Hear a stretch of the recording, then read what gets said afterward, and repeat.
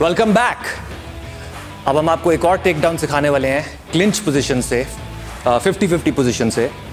और इसके लिए आपको बॉडी लॉक की ज़रूरत नहीं है। इसी पोजीशन से आप टेक डाउन ले सकते हो।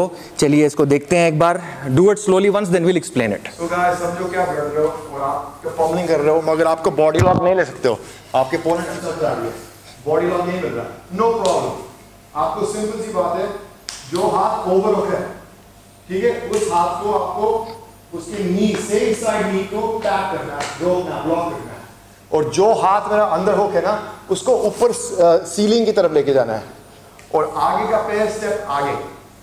तो स्टेप आगे हाथ अंडर हुक सीलिंग की तरफ़ दूसरा हाथ I move balance on this side और पीछे मत जाओ वो सिंपल स्टेप लेगा वो। पीछे का भी सीधा पीछे नहीं जाना। ठीक है? तो I got my position step in with the under hook stop knee and just turn push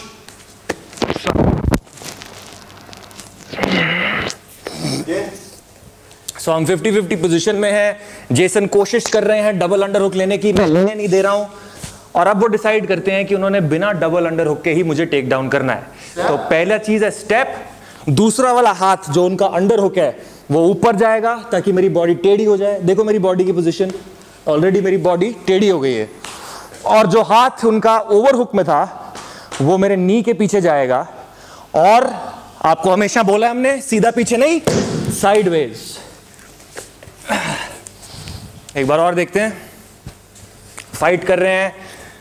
अच्छा चलो स्टेप इन ऊपर वाला हाथ ऊपर अंडर हुक वाला हाथ ऊपर ओवर हुक वाला हाथ मेरे नी के पीछे और एक सर्कल घुमाना है। और फिनिश कैसे करना है? साइड माउंट में।